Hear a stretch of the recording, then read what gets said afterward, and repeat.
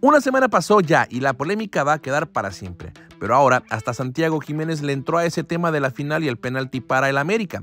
En un live que estaba haciendo en Instagram desde la concentración del Tri, al Bebote le preguntaron qué opinaba de esta polémica jugada en la final de la Liga MX y esto fue lo que dijo. Si soy honesto, para mí sí era penal.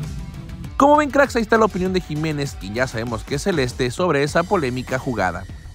El Pachuca se ganó su lugar en el Mundial de Clubes con toda justicia y como fuimos viendo a lo largo de este semestre, lo hizo con muchos jóvenes y jugadores con experiencia que fueron importantísimos.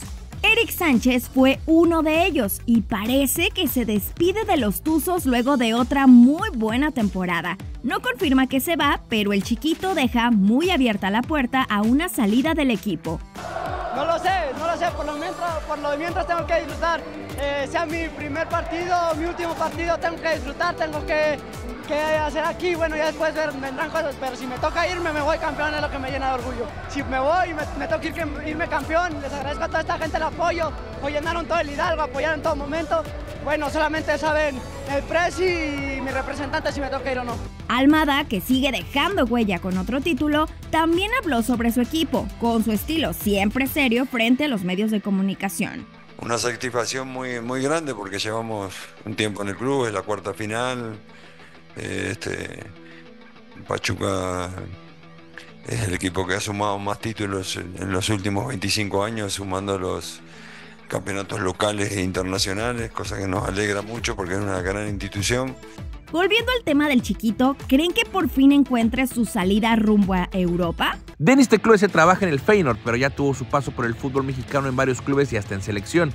Este directivo neerlandés fue puesto como opción para tomar el lugar que Fernando Hierro dejó en Chivas, pero no será. El propio Tecloese descartó que pueda regresar para trabajar en el rebaño. Denis, saludos a México. ¿cómo estás? ¿Todo bien? no, vas a Chivas, ¿verdad? No, la verdad no. Voy a la final del Champions.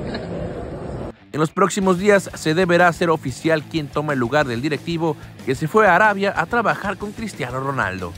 Cracks, este miércoles la cosa se pone seria para México enfrentando a Uruguay. Y aunque todavía no están completos, pues habrá bajas como Fede Valverde o Ronald Araujo, Marcelo Bielsa dio a conocer la lista de los que van a estar contra el Tri y sí aparecen nombres interesantes como José María Jiménez, Matías Olivera, Ugarte, Bentancur, Pelistri y Darwin Núñez, quien es la principal figura de esta convocatoria.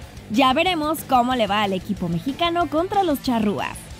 Esto fue todo por el video del día de hoy, cracks. Muchas gracias por siempre informarse con nosotros. Recuerden dejarle su like a este video, compartirlo y comentar. Aquí les dejamos las redes sociales y los links de los canales Hermanos de Cracks.